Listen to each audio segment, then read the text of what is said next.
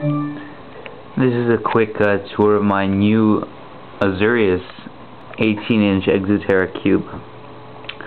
So there's the 18-inch terrarium, some driftwood,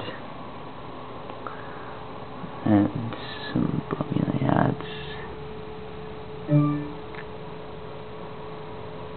some fern.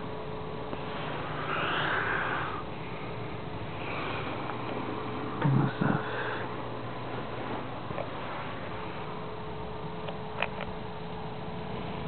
Here they are. Hey guys.